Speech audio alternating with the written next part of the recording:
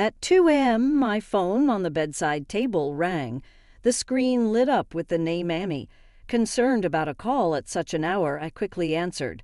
Hello, Amy, I said, but it wasn't my daughter on the line. It was Lily. Mom's crying. Please help, she said, her voice shaking as if she was about to cry herself. Dad hit Mom and left, she added. Confused and alarmed, I hurriedly got dressed and jumped into my car. Entering the living room, I found Amy slumped on the floor crying. Lily, who had tried her best not to cry over the phone, was now sobbing uncontrollably, her eyes and nose bright red as she opened the door for me. It's nothing serious, Amy said, her cheek swollen and red. What happened? I asked. Listening to Amy's story, I felt a chill down my spine. Holding the crying Lily close and stroking her head, I softly spoke. The next one who's gonna be on the floor crying will be John. My name is Michelle, 57 years old. I lost my husband two years ago, and now I live alone. My joys in life are visiting my daughter and son in law's place, which is a 30 minute drive away, watching my four year old granddaughter Lily grow up, and trading stocks, something my husband taught me. As I trade, I often consult my husband in my heart. Should I sell this stock now, or should I wait a bit more? I feel like I can hear him advising me to hold on or to sell now. Strangely, when I follow that advice, I often profit. My daughter, Amy, is 29. She got married five years ago, and since Lily's birth, she's been a stay at home mother. Her husband, John, is a salesman. I used to think salesmen were well paid elites but apparently not. It seems John doesn't make much, and Amy started working from home as a writer last year. They rent a single family home, which isn't cheap. Yet, juggling child care, house chores, and writing seems challenging, and she hasn't been producing much work. That's why I help my daughter out financially every month. It's just money I made from my hobbies. If it helps my darling daughter and granddaughter, then I think it's worth it. Men have their pride, so I told Amy to just keep it a secret from John. John seems to be really busy at his job, and it doesn't pay well. When I visited, he would often take a quick shower and leave right after discussing something with Amy in the upstairs room. John being a salesman sure seems tough. I need to prepare materials for tomorrow. It's work, so I can't help it, he would say. I'm sorry to leave while you're here. I'll be back soon, he'd add. I watched as John left in his suit and murmured with a sigh, I worry he's gonna wear himself out. Amy gave a wry smile. She looked a bit discontented. Peering into Amy's face, I asked, Are you upset because he didn't get to eat the meal you prepared? No, it's not that, she replied with a hint of reluctance. If both your dad and mom are busy and you feel lonely, just call Grandma, okay? I said, pointing at my icon on her phone. I had her call me multiple times to make sure she knew how. I thought if I could be someone for her to talk to when she's feeling lonely, it would be good. I never expected this to come in handy in such an unexpected way, I thought to myself. At 2 a.m., my phone, which was by my bedside, rang. Groggily, I searched for it, wondering who would call at this time. I saw Amy's name lit up. Worried something might have happened, I quickly answered, Hello, Amy, but it wasn't my daughter on the phone. Grandma, Mom's crying, help. Lily's voice, on the verge of tears, desperately reached out to me. Confused, I didn't know how to respond. Dad hit Mom and left, Lily explained. I thought I misheard. He hit her. I asked. Yes, please help. Lily pleaded again. Can you put Mom on the phone? I asked. No, Mom won't respond, no matter what I say, Lily replied. I quickly changed and jumped in my car. Arriving at their house, I rang the doorbell, and Lily opened the door. Over the phone, she had tried her best to hold back her tears, but now her eyes and nose were red from crying. She must have been terrified during those 30 minutes before I arrived. Where's Mom? I asked, Lily pointed towards the living room. I patted Lily's head as I walked down the hallway with Lily hiccuping behind me. Entering the living room, I found Amy slouched on the floor, crying, her disheveled hair covering her face with one hand.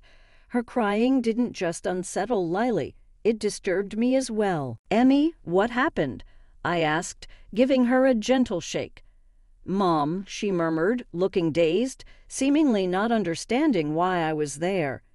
Where did he hit you? Show me, I said, gently moving her hand away. The cheek she had been covering was red and swollen. Amy let out a whimper and covered it again. It was just a slap. It's not a big deal, she said, her voice trembling. I couldn't possibly think it wasn't a big deal. Even if it was just a marital spat, I couldn't believe he would hit her hard enough to cause that kind of swelling. What happened? I asked, wetting a towel and pressing it to Amy's face. Well, I never told you before, Mom, but it seems like John's been cheating, Amy began. Cheating, I exclaimed. Yeah, he told you he was going back to work the other day, but he actually demanded money from me. How could going back to work require so much money? Amy explained. I don't know, but suspecting him of cheating just because of that, I trailed off. I accidentally saw the notification on his phone, and the messages were from a woman with sweet words. He's demanded money several times before. That's why I refused today. And then he hit you. I asked, aghast. Yes, and he almost hit Lily too when she tried to stop him. I stepped in, and in the end, he took money from my purse and left. Amy finished. Listening to Amy's story, I felt a chill run through my heart as my eyes widened in shock. What shocked me the most was that John tried to hit Lily.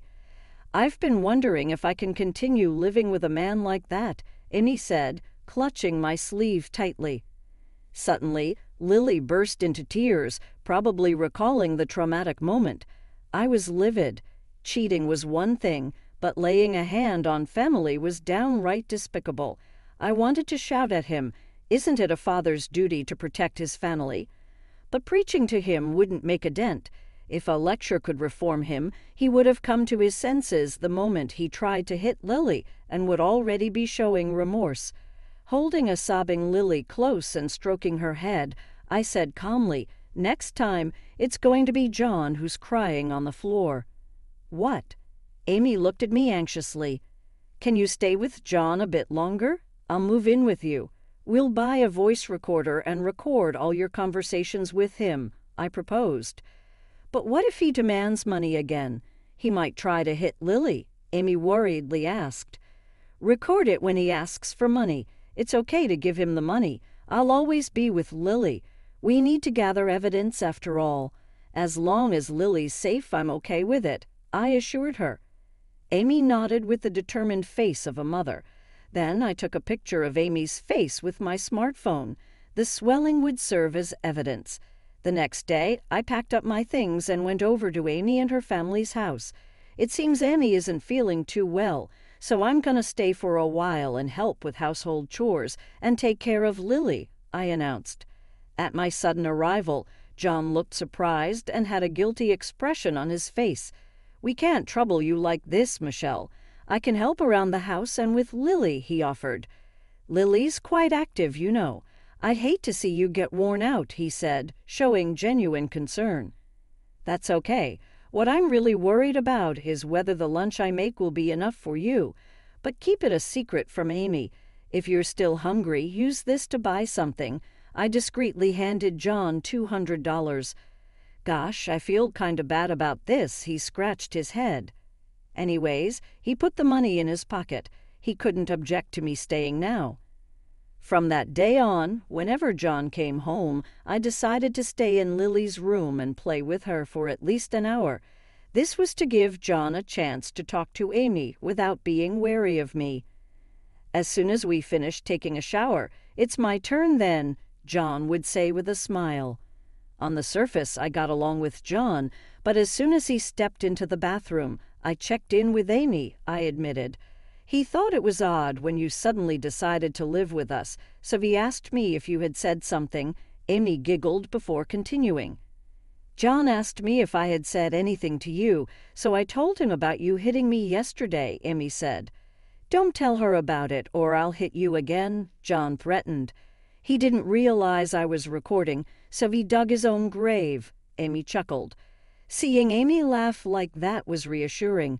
She seemed like a completely different person from last night. I hope my presence here can be of some encouragement. Amy and I nodded in agreement.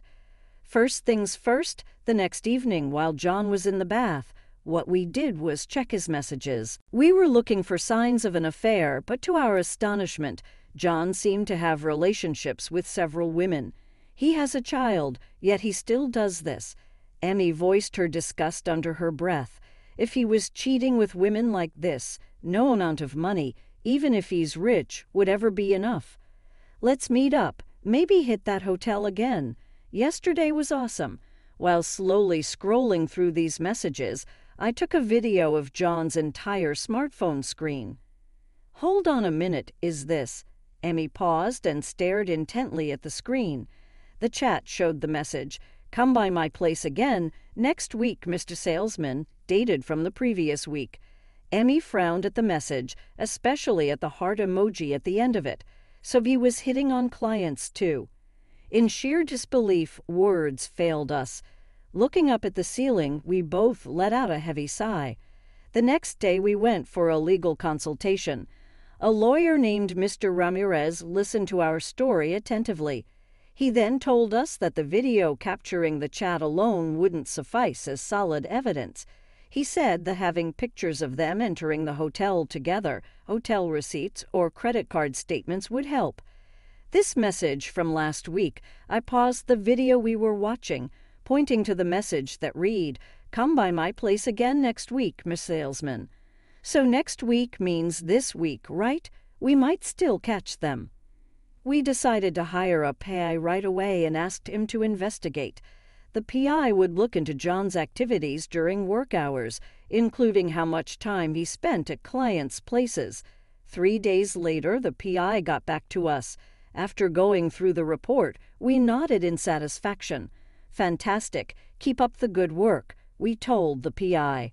Now that we had evidence of John's infidelity, we started planning a trap for him at home.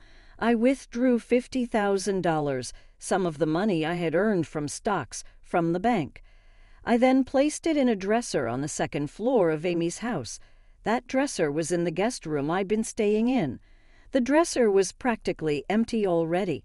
While John was at work during the day, we had been moving our clothes and personal items to my house, readying ourselves for a quick move.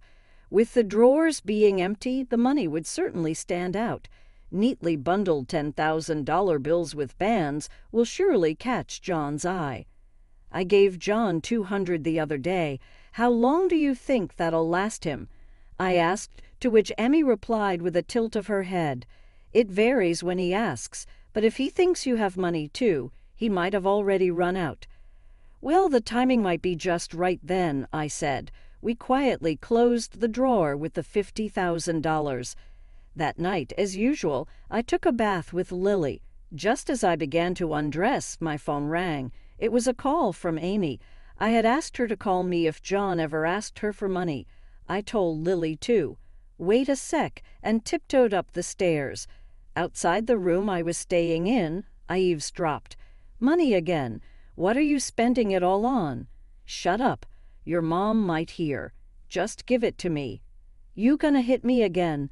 If you don't want to be hit, hand over the money. I'm in a hurry.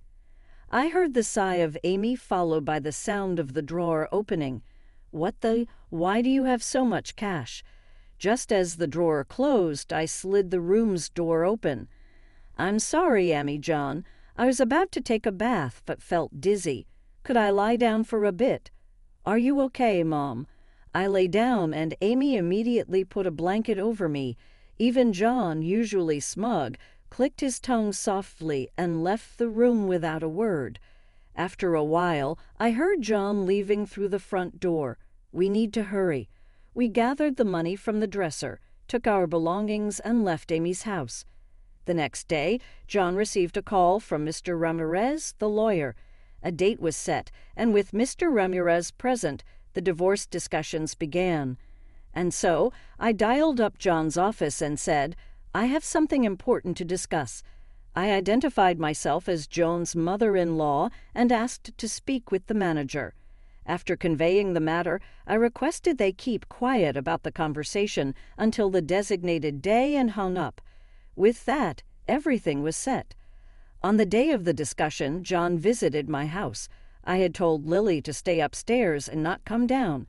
John didn't hide his discontented face, and without greeting me, faced Amy and heavily sat down on the couch. Mr. Ramirez greeted him and handed over his business card. John hesitated for a moment before nodding an acknowledgement. So what's this about you wanting a divorce? Facing Amy, John bluntly asked. Yes, I want a divorce. Also, I'd like alimony for abuse and child support. What? Are you kidding me? You leave the house saying you want a divorce out of the blue, and now you want alimony and child support. Mr. Ramirez, she's the one causing all this trouble. He banged the table, glaring at Amy, and turned a frustrated face to Mr. Ramirez. I have evidence of you cheating and also of physical abuse. She placed a photo on the table taken by a private investigator showing John and another woman exiting a hotel. Following that, I played an audio recording I had taken on my phone, which had John admitting to the violence. Hey, you tricked me, huh? Recording sneaky stuff like this, huh? He raised his voice and lunged at Amy, trying to grab her collar. Both Mr. Ramirez and I stepped in to stop him. Calm down. If you get too aggressive, you might find yourself in legal trouble. After Mr. Ramirez's stern words, John calmed down and settled back into his seat. While I'm trying to listen to both parties here, if this settlement doesn't proceed, Amy's considering filing for divorce or suing. She seems to have her evidence in order and doesn't seem to be backing down.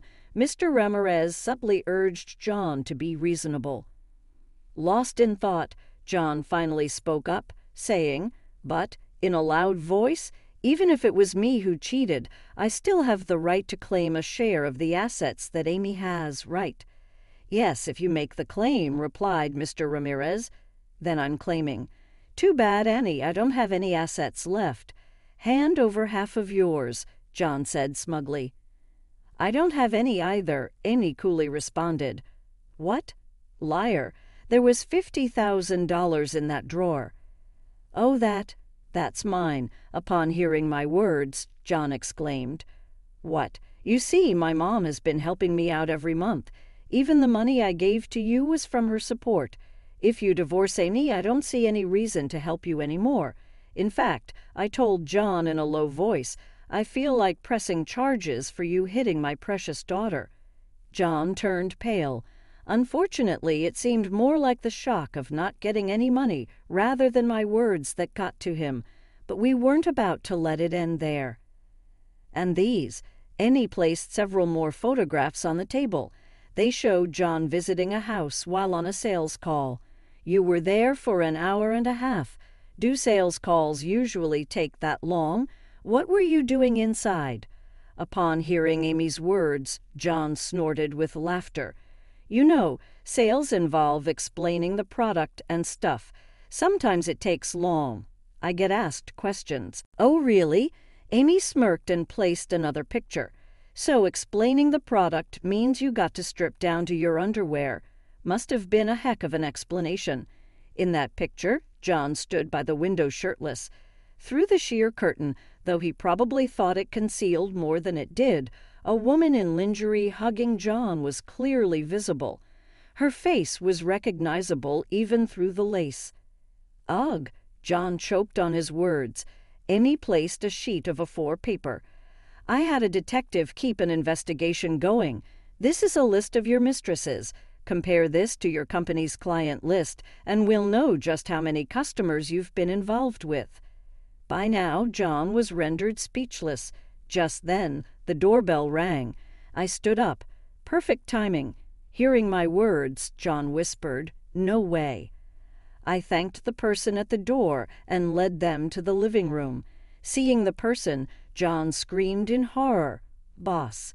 Clutching the photos and list from the table to his chest, John cowered on the carpeted floor.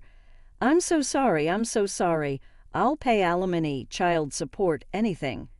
Please, please forgive me. Amy and I exchanged glances inside. It's a shame, but you're too late. We've already made copies of everything. Amy and I presented the photos and list to the boss. As the boss went through them one by one, speechless, only John sobbing echoed throughout the room. Unsurprisingly, John got fired. Moreover, he lodged a claim for damages for cancellation of contracts by the company. The mistresses, too, are playing innocent, claiming they were tricked, seduced, or even forced by John alone. It's karma, I think. Of course, Amy's going after him for every penny in alimony and child support, using Mr. Ramirez as her representative. John couldn't pay everything he owed and not even his rent. Rumor has it he was evicted from his home. Come to think of it, Amy mentioned seeing him doing some unfamiliar road construction work. He looked like he was about to cry as his younger co-workers yelled at him. As for us, the three of us live happily in my house. Amy started working. I look after Lily, but I don't find it hard at all. On the contrary, every day is fulfilling. Even though we live together, sometimes Lily calls with Amy's cell phone. Love you, Grandma. Hearing that cheerful voice all